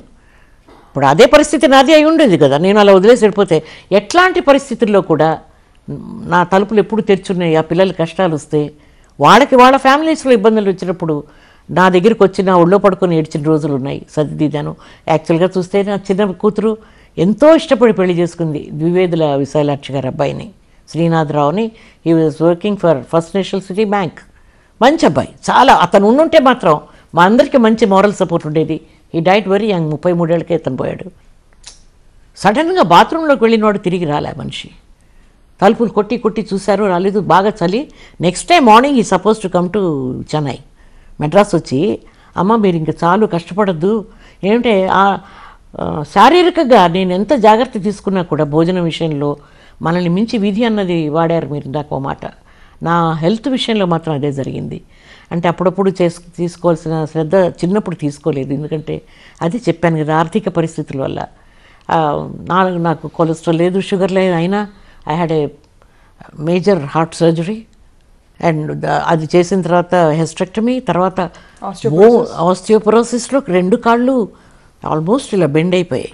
ఇవాళ మీరు మీరు ఆలోచించలేరు కదా నేను అలా ఉన్నానని. ఎనర్జీ చూస్తే అసలు ఎవరు ఊహించలేరు. లేదు అది ఆశ్చర్యపోయాడు ఆ doctor the way I took both the surgeries ఆ తర్వాత అంటే మన జాగ్రత్తలు చాలా అవసరం ఉన్నాయి. నేను ఇక్కడే కూర్చుంటాను నాకు మంచి నీళ్ళు తీసుకురా నాకు వడ్డిచ్చు నాకు ఇక్కడ ప్లేట్ పెట్టు అంటే ఒళ్ళు పెరిగిపోతుంది ఏముంది? నా జీవితంలో నన్ను అండర్స్టాండ్ చేసుకున్న పిల్లల చిన్నమ్మాయి ఆఖరమ్మాయి మా అబ్బాయి ఉన్నాడు అనుకోండి వాడికి అమెరికా వ్యామోహం. పంతొమ్మిదేళ్ళకి వెళ్ళిపోయాడు నన్ను వదిలేసి. చదువుకొని ఇంటికి ఇంటికి వచ్చేస్తాను ఇండియాకి వస్తానని చెప్పినవాడు ఎప్పుడైనా అడప తడప చూడడానికి వస్తాడు నన్ను. చెడ్డవాడ అంటే కానే కాదు శ్రీరామచంద్రుడు వాడు. ఆ, పెళ్ళాం వాడు వాడి సంసారం అంతే తెలుసు వాడికి. మమ్మీ అనేది ఒకటి ఉందని ఎప్పుడైనా గుర్తొస్తుంది వాడికి ఏమన్నా ఇబ్బంది కానీ ఇప్పుడు అనిపించదా మరి మీకు అంటే ఎవరి మీద మీరు ఎమోషనల్గా పూర్తిగా మీ ఎనర్జీ అంతా ఇన్వెస్ట్ చేసి చేశాను. ఎవరి కోసం ఫినాన్షియల్గా నాకేమీ పెద్దగా లేకుండా ఏదో చివరి రోజుల దాకా పస్తు పడుకోకుండా తినడానికి మాత్రమే ఉంచుకొని చిన్నప్పుడే అన్నీ ఇచ్చేసాను వెల్త్ ట్యాక్స్ గిఫ్ట్ ట్యాక్స్ అన్నీ కట్టి. ఇలాంటి పిచ్చి పని మాత్రం ఎవరు చేయకూడదు ప్రపంచంలో. వాళ్ళకి వాళ్ళు ఆలోచించుకోవాలి ముందు. ఆ ముందు ఎవ్వరూ కూడా బతికుండంగా మాత్రం పిల్లలకి సెటిల్మెంట్ చేయకూడదండి. అది నా ఉద్దేశం అది. అది మనల్ని మనం చెప్పుతో కొట్టుకున్నట్టే ఆ పని చేస్తే. మనం ఆర్టిస్ట్లో ఇక్కడక్కడ తిరుగుతుంటాను ప్రయాణాలు చేస్తుంటాను రేపు వీళ్ళల్లో వీళ్ళు తనుకోకూడదు వీళ్ళకి గొడవలు రాకూడదని ఆ సంపాదించిన కొద్దిపాటి చాలా లిమిటేషన్స్లో సంపాదించాను నేను. చెప్పాను కదా పిక్చర్స్ అన్ని చూస్ చేసుకునేదాన్ని డబ్బులు ఇంత ఇవ్వండి అని అడగడం కూడా తెలియదు వాళ్ళు ఇస్తా ఉంటే సరేనండి అనేదాన్ని. ఫస్ట్ పిక్చర్కి రెండు వేల ఐదు వందలు జీతం. ఆ తర్వాత తర్వాత నేను ఆల్మోస్ట్ క్యారెక్టర్ రోల్స్ వచ్చేసి అంటే బాగా చిన్నప్పుడే నేను హీరోయిన్గా యాక్ట్ చేస్తున్నప్పుడే క్యారెక్టర్ రోల్స్ అవి చేశాను నేను. I love to do it డిఫరెంట్గా అందుకని ఆ ట్రాన్సిషన్ పీరియడ్ నాకేమీ అంత కష్టం అనిపించలే. ఈజీగా వచ్చేసాను. ఐ- అప్పుడంత పెద్ద payment seventy five to one lakh was my payment తర్వాత ఇప్పుడు ఇటీవల ఒక ఐదారేళ్ళ క్రితం కొన్ని సినిమాలు చేశాను. బావగారు బాగున్నారా ఎలా చెప్పను తర్వాత ఇంకోటి రావోయి చందమామ ఇలాంటి సినిమాలు ఏవో కొన్ని కొన్ని చేశాను నేను. నువ్వు ఇంకేదో ఉంది ఇంకో ఇంకో లవ్ స్టోరీ ఒకటి. ఇట్ వాజ్ రీమేక్ వాటిలో I got more little more than that natural అంటే ఇంకొక డెబ్బై ఐదు వేలు ఎక్కువ ఉండొచ్చు. మీకు కృష్ణకుమారి గారికి పరిస్థితుల వల్ల కొంత రిఫ్ట్ వచ్చిన మీలోని ఒక ప్రొటెక్టివ్ అక్క మాత్రం ఒక సందర్భంలో విపరీతంగా మేలుకుని ఎన్టీ రామారావు గారు కృష్ణకుమారి గారు వివాహం దాకా వారి విషయం వెళ్ళిందని తెలిసి ఆ తర్వాత గొడవలయ్యి ఆయన ఒక అడుగు వెనక్కి వేశారు అన్న తర్వాత మీరు వెళ్ళి ఆయన నిలదీసి తిట్టారని అంటుంటారు నిజమా? మై గాడ్ ఏమండి? ఒకటి చెప్పనా? ముందు అసలు ఒకళ్ళ పర్సనల్ విషయాల్లో ఒకళ్ళం ఏనాడు మేము ఇంటర్ఫీర్ అవ్వాల. వాళ్ళిద్దరూ వివాహం చేసుకుందాం అనుకుని అది ఫెయిల్ అయితే మధ్య నేనెవరినని వెళ్ళి ఆయన్ని తిట్టడం చెడమడా తిట్టాల్సిన అవసరం లేకపోతే చెంప దెబ్బలు కొట్టాల్సిన అవసరం నాకు లేదు కదా. అలా అలాంటిది అసలు అలాంటి ఇన్సిడెంటే జరగలేదు. రామారావు గారికి నేనంటే ఒక విపరీతమైన గౌరవం ఉండేది. ఫిలిం డెవలప్మెంట్ కార్పొరేషన్లో రెండు సార్లు నన్ను ఆయన వేసుకుని నా చేత పని చేయించుకున్నారు అక్కడ ఆయన ఆయన టాలెంట్ మీద ఆయన ఎదిగిన తీరు అంబరానికి వెళ్ళిపోయాడు కదా అందాలరాముడు. అలా వెళ్ళినప్పుడు ఆయన మీద గురుభావం తప్ప ఇలాంటి చిల్లర విషయాలన్నీ వచ్చేవి కాదు ఈ టుమ్రీ విషయాలన్నీ వచ్చేవి కాదు. పైగా ఆయనకి ఏం వీక్నెసెస్ ఉన్నాయో ఆయన ఎవరిని పెళ్ళి చేసుకోవాలనుకున్నాడు అంటే మా చెల్లెలకి అప్పుడు పెళ్ళి కాలేదు కాబట్టి అలాంటిది ఏదైనా ఒక థాట్ ఉండుండొచ్చు తప్పని నేను అంటలేదు బట్ అప్పటికే రామారావు గారికి పెళ్ళయింది. బట్ ఆయన కూడా వివాహం చేసుకుందాం అనుకున్నారు కృష్ణకుమార్ గారిని అన్న అన్న ఆ టాక్ మాత్రం విపరీతంగా ఉండేది. అవును. మీ దాకా వచ్చినప్పుడు what did you feel I told her only once when we were talking generally ఆయనని చెప్పకుండా పెళ్ళైన వాళ్ళకి సెకండ్ ఫిడిల్గా వెళ్ళడం సెకండ్ ఉమెన్గా లైఫ్ లీడ్ చేయడం అనేది చాలా ఇబ్బందికరమైన విషయం అనేది చూచాయిగా. మాట్లాడుకున్నామే తప్ప ఇప్పుడు అదే ఒపీనియన్ అది మా చెల్లెల విషయంలో మాత్రం నేను ఇండైరెక్ట్గా చెప్పాను. బికాస్ పన్నెండు పదమూడు మంది పిల్లలు పైగా వాళ్ళంతా వేరే టైప్ ఆఫ్ పీపుల్. అది ఒకవేళ అది నిజమై ఉంటే మాత్రం తనకంత శ్రేయస్కరంగా ఉండి ఉండేది కాదేమో. కానీ I think they still had the same respect. ఒక నేను డీటెయిల్స్లోకి వెళ్ళలేదు కానీ మేమంతా ఎక్కడి నుంచో ట్రావెల్ చేస్తున్నాం హైదరాబాద్ ఎయిర్పోర్ట్లో. వచ్చి ఆయన పలకరించి ఏమండి కృష్ణకుమార్ గారు బాగున్నారా? అన్నప్పుడు నాకు అసలు అనుమానం కానీ వీళ్ళిద్దరూ ఎప్పుడైనా గొడవ పడ్డారు విడిపోయారు అలాంటి థాటే రాలేదు. తను చేసింది ఏమిటంటే తనలో తనలో ఎక్కడ తేడా వచ్చిందో తెలీదు. పీక్ ఆఫ్ హర్ కెరియర్ పదిహేడు సినిమాలు ఫోన్ మీద క్యాన్సిల్ చేసుకుంది. ఎక్కడో ఏదో హర్ట్ ఉండుంటుంది తన లైఫ్లో which we never discussed not did I ever ask her Ramarao గారితో పదిహేడు సినిమాలు క్యాన్సిల్ చేసుకున్నారు. చాలా మందితో. ఒక్క రామారావు గారితోనే చాలా ఐదు ఆరు పిక్చర్లు ఉండి ఉండాలి అప్పటికి. రామ నాగేశ్వరరావు గారితో కాంతారావు గారితో జగ్గయ్య గారితో అందరితో సినిమాలు చాలా ఉన్నాయి. And she was ruling supreme ఆ టైంలో. గ్లామర్ క్వీన్ అని పేరు అందాల రాణి అనే కదా అనేవారు ఆవిడని. పర్సనల్ విషయాలు ఎప్పుడూ మాట్లాడుకోలేదు మేము. తను ఈ పెళ్ళి ఇప్పుడు కూడా ఇన్విటేషన్ పంపించింది నాకు. అయినా కూడా నేను ఏమిటి ఎవరు ఏమిటి నాకు ఒక చోటు నుంచి మాత్రం because he had he was already married కదా. అజయ్ కైతాన్. ఆయన ఇండియన్ ఎక్స్ప్రెస్ రామ్నాథ్ గోయంకా అల్లుడు. ఆమె డివోర్స్ అయిన తర్వాతే చేసుకున్నారు అయినా కూడా ఒక పెద్ద ప్రొడ్యూసర్గా విజయవాహిని సంస్థ నుంచి ప్రొడ్యూసర్ ఫోన్ చేసి వాళ్ళు గొడవ పెడుతున్నారు వచ్చి కైతాన్ గారితో పెళ్ళి వద్దని చెప్పండి మీ సిస్టర్ గారిని. ఇదే మాట చెప్పాను స్వప్న ఆ రోజు కూడా. ఏమండి it's a very personal thing అండి పెళ్ళి అనేది. వాళ్ళిద్దరూ డిసైడ్ చేసుకుని మ్యారేజ్ చేసుకుందాం. యాక్చువల్గా ఆయన మార్వాడి. క్యాస్టు మా మనం మనమేమో మాధవ బ్రాహ్మణ్ క్యాస్టు వాళ్ళిద్దరూ కలిసి పెళ్ళి చేసుకుందాం అని అనుకున్న తర్వాత who I to go and ask them not to get married నాకేం అధికారం ఉంది అసలు ముందు. మా చెల్లెలు నాకేమైనా వచ్చి చెప్తే నేను వింటానా? నేను విన్ను. పరమముండి నేను. నేను ఏది రైట్ అనుకుంటానో నా మనసాక్షికి ఏది రైట్ అనిపిస్తుందో అదే చేస్తాను నేను. ఆ అమ్మాయికి అది రైట్ అనిపించింది సినిమాలు వదిలేసింది అతను పెళ్ళి చేసుకుని బెంగళూరులో సెటిల్ అయిపోదాం అనుకుందండి. ఐఎమ్ సారీ పెద్ద ప్రొడ్యూసర్ గారే. ఆయన లేరు అందుకని ఆయన పేరు నేను చెప్పడం ఇష్టం లేదు. నా మొదటి ప్రొడ్యూసర్. ఆయనే ఫోన్ చేసి టోల్డ్ మీ మీ చెల్లెలతో మాట్లాడగలరా? వాళ్ళు మమ్మల్ని అప్రోచ్ అయ్యారు. ఈ పెళ్ళి ఆపమని. నేను చెప్పాను I'm sorry I want do it first of all అంటే విజయ వారి సంస్థలో ఫస్ట్ సినిమా తర్వాత తర్వాత నటించకపోవడానికి కారణం ఏంటండి ఎందుకంటే వాళ్ళు ఆ సినిమా అయిన తర్వాత నన్ను రామారావు గారు రేలంగి నంగారావు గారు అందరూ పర్మనెంట్ ఆర్టిస్టులు అయిపోయారు అక్కడ. మంత్లీ పేమెంట్ మీద. వాళ్ళందరూ హుక్అప్ అయిపోయారు అక్కడ. ఆ కమిట్మెంట్ నాకు ఇష్టం లేదు. నేను ఎక్కువసేపు నన్ను ఎవరైనా గదిలో పెట్టి తాళం వేస్తే నాకు క్లస్ట్రోఫోబియా వచ్చేస్తుంది. అలాంటి దాన్ని నేను ఒక కంపెనీకి ఒక సంస్థకి మూడేళ్ళకి ఐదేళ్ళకు నేను కాంట్రాక్ట్ రాసి ఇంకెక్కడ బయట యాక్ట్ చేయకూడదు అన్న రూల్ పట్టుకొచ్చారు వాళ్ళు. I said no that's not my aim of life నేను నా డెసిషన్ కరెక్ట్ నేను అలా చేస్తుంటే మాత్రం immediate next Tamil picture was great picture from Modern Theatres అలాగే మా వాసన్ గారి సినిమా నెక్స్ట్ది. అలాగా చాలా వచ్చాయి. ఒకే చోట నేను అంటి పెట్టుకుంటే బహుశా నేను అదేమిటి మిస్ అమ్మ తర్వాత ఇంకేమిటి చంద్రహారమా పాతాళ భైరవి అన్నిట్లో ఏదో వే- వేషం వేసి ఉండేదాన్నేమో వేషం ఏదో కాదు హీరోయిన్ ఇచ్చి ఉండేవారు ఆ హీరోయినే సైన్ చేయించుకుంటామని చెప్పారు. నా లిమిటేషన్స్ నాకు తెలుసమ్మా. నేను పౌరాణికాలకి మైథాలజీ సినిమాలకి అంత ఒప్పదు. ఎందుకంటే ఒక అన్యాచురాలిటీ ఫీల్ అవుతాను నన్ను ఎవరైనా ఓ డ్యాన్స్ మూమెంట్ చేయమంటే ఏమండి రియల్ లైఫ్లో డ్యాన్స్ చేస్తామా మీరు ఇంకా ఆ సీన్ ఎవరి మీద పెట్టినా ఒక డైలాగ్ ఇవ్వండి నా బతిమలుకునేదాన్ని నేను. అలా అందుకని నేను కమిట్మెంట్ వద్దనుకున్నాను. టాప్ హీరోస్ అందరు సరసన నటించారు మీరు. ఒక్కొక్క హీరోని చూసినప్పుడు అప్పట్లో ఏమనిపించేది మీకు? లెట్ స్టార్ట్ విత్ నాగేశ్వర నాగేశ్వరరావుతో ఫస్ట్ రామారావుతో స్టార్ట్ చేద్దాం. రామారావు గారితో ఎందుకంటే ఆయనే కదా ఫస్ట్ ఆయన అప్పుడు రా ఆయనకి చాలా ఇయర్సే కదా అప్పుడు. He was not something very popular I think పల్లెటూరు పిల్ల ముందు బుక్ అయ్యి బుక్ అయ్యి రిలీజ్ అవ్వడం మాత్రం షావుకారు ముందు వచ్చింది కదండి. వాట్ ఎ హ్యాండ్సమ్ ఫిగర్ అండి నిజంగా కదా. డిగ్నిటీ పైగా very well behaved person on the sets ఆయన పని ఏమిటో ఆయన ఎప్పుడు నవ్వుతూ ఉండేవారు అలాగే.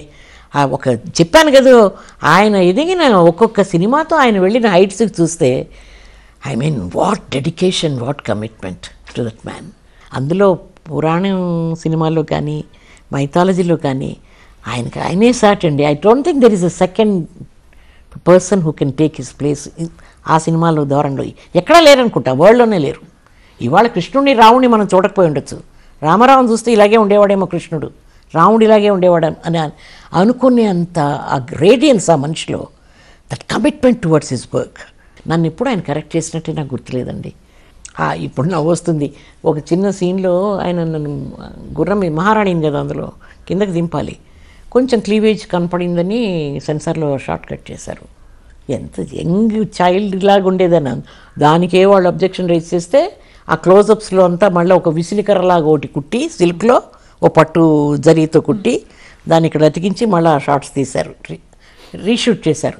అలాంటిది ఇవాళ బట్టలు చూడాలంటే మనం బట్టల కొట్లో చూడొచ్చేమో కానీ ఆర్టిస్టులు మీద వాళ్ళు చూడలేం. ఆయన మాత్రం చాలా సిగ్గుపడేవారండి. ఏదైనా చెప్పాలన్నా కూడా తలంచుకునే జానగారు ఈ సీన్ ఇంట్లో చేద్దాం అనేవారు తప్ప I had total admiration for that man. ఒక గురుభావం తప్ప ఇంకొకలాంటి థాట్ వచ్చేది కదండి నాకు. ఆయన అంతే నాకు ఎంజీఆర్ గారు కూడా అంతే. ఎవరిని ఎట్లా ట్రీట్ చేయాలో తెలిసిన మనుషులు వీళ్ళిద్దరే.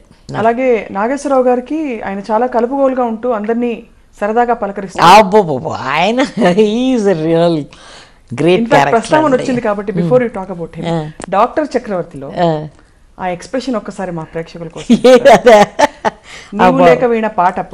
సావిత్రి గారు పాడుతూ ఉంటారు. మీరు అసహనంగా నన్ను బలవంతంగా తీసుకొచ్చి కూర్చోబెడతారు అక్కడ. ఈవిడికి ఒక అలాంటి జలసి ఒక ఫీలింగ్ ఉంటుంది. అంటే తన హస్బెండ్తో ఈ అమ్మాయికి ఏదో సంబంధం ఉంది చెల్లెళ్ళు అన్నది చివరిదాకా చెప్పరు కదా. చెప్పరు చెప్పరు. సో దానికి బోరు వెళ్ళిపోవాలి అక్కడి నుంచి. అందుకని ఇంకా చూస్తున్న అందరి మొహాలు చూసి అంటుంది. That one thing got so much of ovation bore కొట్టింది నాకు ఇక్కడి నుంచి లేవాలి అన్నది అనకుండా టైం చూసి ఒక లుక్ పారేస్తుంది అంతే. ఆ విషయంలో విశ్వనాథ్ గారండి. అనదర్ ఆయన పది సెంటెన్సెస్ మాట్లాడాల్సిన చోట ఒక్క చిన్న ఎక్స్ప్రెషన్ కానీ ఒక చిన్న ముఖభావం కానీ ఒక చిన్న జర్క్ కానీ లేకపోతే బాడీ లాంగ్వేజ్ అస్సలు ఇష్టం ఉండదు ఆయనకి. ఊరికే ఎగ్జాజరేట్ చేసి మాట్లాడాలో అవన్నీ ఇష్టం ఉండదు. ఆయన ఒకడు జమ్ ఆఫ్ ఎ డైరెక్టర్ నాకు ఏంటి బాధ అంటే ఆయనతో ఒక మంచి క్యారెక్టరు చేయలేకపోయానని అనిపించింది. ఎందుకంటే ఉండమ్మ బొట్టు పెడతాలో కామెడీ రోల్ ఇచ్చారు నాకు ఆయన. నాగేశ్వరరావు గారు ఎంజిఆర్ శివాజీ. శివాజీ గణేశన్ గారు one more extremely attractive handsome consummate actor ఇంకా అలా యాక్టర్స్ యాక్టర్ ఆయన. కదా? నాగేశ్వరరావు గారు ఎలాగంటే డెవలప్ చేసుకున్నారు. ఒక సందర్భంలో శివాజీ గారు చేసిన రోలు నేను శివాజీ గారు యాక్ట్ చేసిన మోటార్ సుందరం పిళ్ళయ్య అని. ఆ సినిమాని గృహస్థి ఆ, సినిమాని తా తెలుగులో మన మధుసూదన్ రావు గారు డైరెక్ట్ చేసి తీసినప్పుడు నేను చేయనన్నారు ఆ రోలు. ఆయన ఆయన ఫీలింగ్ అది. ఆ స్టేచరును శివాజీ పర్ఫార్మెన్స్ నాలో ఆ ఉన్నతనం రాదు అంటే ఆశ్చర్యపోయాం మేము.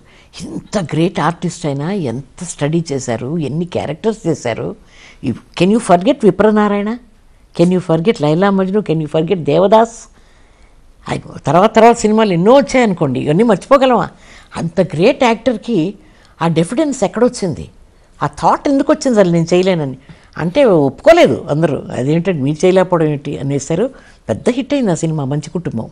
కన్నడ రాజ్ కుమార్ గారు? అమ్మో అదొక మహాయోగి అతను. ఆయన కోపం వచ్చి ఎప్పుడు చూడలేదండి నేను. ఆశ్చర్యం నాకు చాలా సినిమాలు చేశాను ఆయనతోటి. లాస్ట్ పిక్చర్ శబ్దవేది అని చేశాం. ఆయన పక్కన జయప్రద యాక్ట్ చేసింది. నేను ఆయన మదర్ రోల్ చేశాను. అందరూ అడిగారు ఎందుకు మదర్ చేస్తున్నామని ఇంత గ్రేట్ ఆర్టిస్టులకి మదర్ చేయడం అనే అదృష్టం వస్తే వేషమే కదా ఏం నిజంగా నేను మదర్ అయిపోయినా ఏమిటి ఇప్పుడు? మదర్ అయినా తప్పులేదు ఇలాంటి కొడుకుంటే ఎంత గర్వపడి ఉండేదాన్నో అనుకున్నాను నేను. That was his last movie పెద్ద హిట్. ఆ తర్వాత వీరప్పన్ గారు అడవి తీసుకెళ్ళిపోయారు. ఆయనలో గొప్పతనం ఏమిటంటే అండి వీరప్పన ఇలా చేసి రా మీట్ అంతా పెట్టేవాట పచ్చి మాంసం. స్నానానికి ఎలో చేసేవాడు కాదు. ఎందుకంటే అక్కడ కొలం దగ్గర స్నానం చేస్తుంటే ఈ పోలీసులు వాచ్ చేసేవాళ్ళు చెప్పేస్తారు కదా ఇక్కడ ఉన్నారని. పదిహేను రోజులు పదిహేను పది రోజులకు ఒకసారి స్నానం చేయడానికి వెళ్ళొచ్చేసేవట ఒక కుండతో నీళ్ళు ఇచ్చి కడుక్కోమనేవట. ఇంత చేస్తే నాతో కన్నడలో చెప్తాడు జానకి అవరే అవరత్ర నావు కలుతుకోబేకాదు ఎష్టి ఇదే గుర్తా అంటే ఆ వీరప్పన్ దగ్గర మనం నేర్చుకోవాల్సింది ఎంత ఉందో తెలుసా? పైగా నన్ను సార్ సారనే మర్యాదగా పిలిచేవాడని సంతోషపడిపోయాడు. అంతలాంటి వీరప్పన్ని అంత కర్కోటకుండి ఆయన మెచ్చుకుంటుంటే ఆయనలో మంచితనం చూడండి. He was telling me the good points in him కాళ్ళు ఎక్కువగా ఉన్నాయా? పరమంత రేపు నడుద్దాం. ఇరవై ఐదు కిలోమీటర్లు నడిపించేసేవాడు ఒక్కోసారి. ఈయన ఆ తర్వాత ఆయన కాళ్ళు దెబ్బతిన్నాయి. అసలే వీక్ కాళ్ళు ఆయనకి మొత్తం. బ్యూటిఫుల్ మెమరీస్ మీ ఒక్కొక్క I had that kind of rapport with people with whom I was uh, so of all these. Top heroes I know it is a very controversial question if you were to marry which one of them అంటే assume ఇంకా అంటే if you assume that they had no barriers they had no చాలా వరకు అందరూ పెళ్ళి అయిపోయిన వాళ్ళే కదండి. నేను పెళ్ళి చేసుకుని వచ్చాను ఇంకెవరిని పెళ్ళి చేసుకుంటా నేను? పైగా పెళ్ళి మీద అంత పెద్ద నాకు పట్టు లేదు. పోనీ న్యాచురల్గా ఎవరితో మీరు కనెక్ట్ అయ్యారు? రామారావు గారా నాగేశ్వరరావు గారా? మీ మనసు కనెక్ట్ అవ్వడం అన్నది అంటే అది అతి అందరూ యాక్టర్స్గా మాత్రం అందరితోనూ బాగానే కనెక్ట్ అయ్యాను. Me used to discuss so many other things with Nageswara గారు. Which was not possible with Ramarao గారు చెప్పారు కదా ఆయన అంటే ఒక గురుభావం తప్ప పర్సనల్ విషయాలు. పర్సనల్ విషయాలు రాజేశ్వరరావు నేను చాలా మాట్లాడుకునేవాళ్ళం సొంతగా I was attracted to Shivaji Ganesan and Mammootty మీ పట్ల ఎవరు ఆకర్షితులయ్యారు? అంటే ఎవరెవరు అయ్యారో మనసులో చెప్పలేము. బట్ విషయం. గాడ్ చాలా కష్టమైన క్వశ్చన్ సార్. అందరూ అట్రాక్ట్ అయ్యారు. సన్మోహనాస్త్రం కళ్ళు అన్ని అంటే మరి అట్రాక్ట్ అవడమే కదా అది. జానకి కళ్ళు చూస్తే నాకు భయం అని ఒక ఆయన అన్నారు. ఎందుకండి అంత భయంకరంగా క్రూరంగా ఉంటాయి నా కళ్ళని అడిగా ఒకసారి. సన్మోహనాస్త్రం వేస్తాయి ఆ కళ్ళు? అన్నారు. ఆ రోజు నాకు చిన్నప్పటి నుంచి ఆడంబరం పెద్దగా ఇష్టం లేదండి. ఏదో భగవంతుడు ఇచ్చాడు కాబట్టి ఈ మాత్రం నేను ఎంజాయ్ చేస్తున్నాను. ఐఎమ్ థ్యాంక్ఫుల్ టు గాడ్ ఎప్పుడు స్వామికి సత్యసాయికి మనసులు ఆయనతో ఒకసారి ఇప్పుడు ఇంటర్వ్యూలో అన్నాను నేను స్వామి ఎక్కడ నేను అడుగు తినే పరిస్థితి రాకూడదు స్వామి నన్ను బ్లెస్ చేయండి అన్నా. అంటే ఛీ నీకు అలాంటి పరిస్థితి ఎప్పుడు రాదు అన్నారు. ఆ ఒక్క మాట మీద భరోసాతో బతుకుతున్నాను నేను. వర్స్ కమ్స్ టు వర్స్ ఎవరైనా ఎవరైనా కోపం వస్తే ఒకటే అంటాను. శివాజీ గణేషన్తో నేను ఒకసారి అన్నాను. లేటుగా వచ్చానని ఒకసారి ఆయన కోపం చేసుకున్నారు. మరీ నెత్తి మీద ముడితే ఎవరింట్లోనే వెళ్ళి వంట చేసుకుని బతుకుతాను సార్. సినిమాలు వద్దు అన్నాను. నవ్వేశాడు గట్టిగా ఆయన. వింటే నవ్వొస్తుంది కానీ మీరు వంట మనిషి అయినా యుడ్ బీన్ ఎక్స్ట్రీమ్లీ సక్సెస్ఫుల్ ఎందుకంటే వంట అంత అద్భుతంగా చేస్తారు ఎవరన్నారు? ఊరికే ఉండండి మీరు. లేని పని అనకండి. అందరికి పట్టడం కూడా మీకు ఇష్టం కదా బాగా? అదే ఇష్టం. నేను వంట చే బాగా చేస్తాను లేదు కానీ ప్రేమతో నా మనసంతా వేసి గుత్తి వంకాయ కూర బాబాయ్ కోరి వండినాను అన్నట్టు వండి అందరికి భోజనం పెట్టాను సార్ అరటి తోట దగ్గర నుంచి ఆగాకరకాయ దాకా అన్ని స్పెషాలిటీస్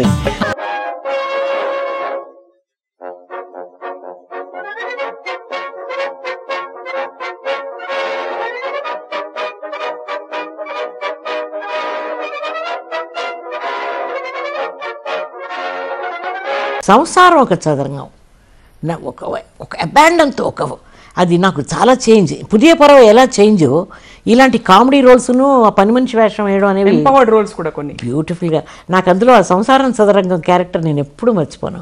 మీ టాప్ ఫైవ్ సాంగ్స్ మీరు గుర్తు చేసుకుంటే మాకు గుర్తున్నవి కొన్ని మీకేవి గుర్తొస్తాయి.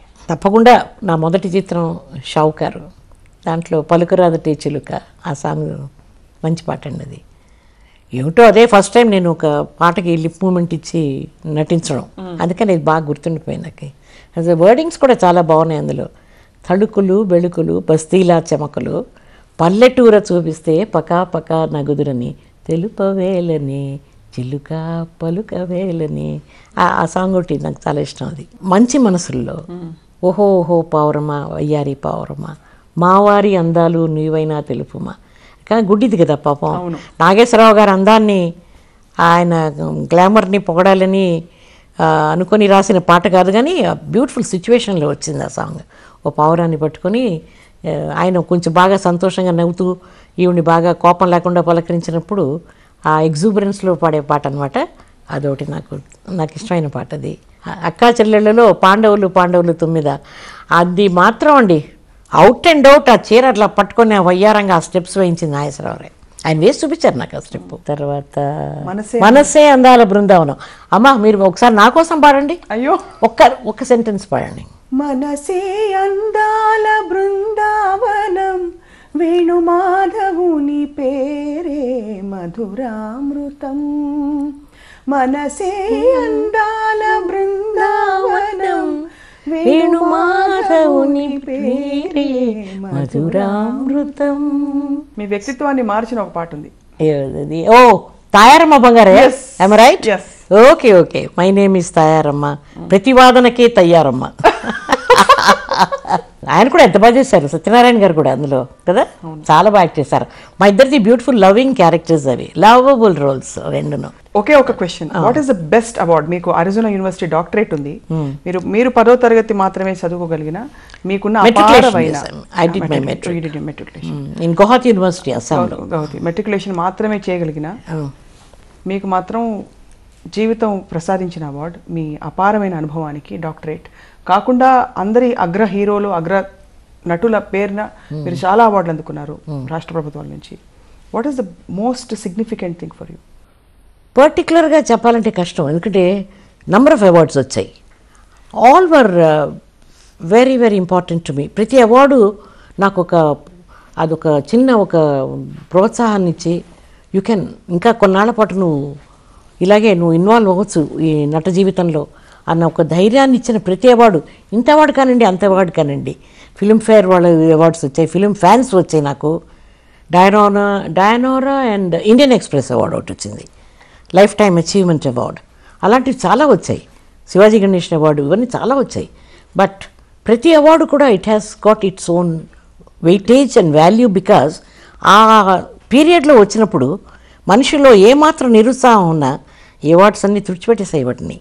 అలా అలా కంటిన్యూ అయ్యాయి. నేను చెప్పాను కదా వాటి నుంచి పెద్దగా ఎంకరేజ్మెంట్ లేవు. కానీ ప్రజలు గుర్తించారు. ఇండస్ట్రీలో వాళ్ళు నన్ను రికగ్నైజ్ చేసి నన్ను గౌరవించి awards ఇచ్చారనేది it is always humble me a lot ఇంత అనుభవాన్ని నటనానుభవాన్ని కూడా ముందుకు తీసుకొచ్చారు. మీ వారసులు ఆఫ్ కోర్స్ వైష్ణవి వైష్ణవి నా పెద్ద కూతురు కూతురు అది అది నా పర్మిషన్తో రాలేదుండో దాన్ని ఐఏఎస్ చదివించాలని ఏదో కలలు కన్నాను నేను వాళ్ళ అమ్మ పర్మిషన్తో వచ్చింది. తనకి ఎప్పుడు ఇష్టం లేదనుకుందో చక్కగా లవ్ మ్యారేజ్ చేసుకుంది ఇద్దరు మంచి అందమైన నాకు ముని మనవరాళ్ళు ఇద్దరు. ముని మనవడొకడు ఆ, మనవాళ్ళు ముగ్గురు. హ్యాపీ లైఫ్ హ్యాపీగా వెళ్ళిపోయింది. ఇవాళ మీతో మాట్లాడడం అన్నిటికంటే ముఖ్యమైన హ్యాపీనెస్ ఏంటంటే నన్ను మర్చిపోయే వాళ్ళకి మళ్ళీ మీరు తీసుకొచ్చి సాక్షి ద్వారా ఉన్నది ఇవిడ అని చూపించారు. I should personally thank you for it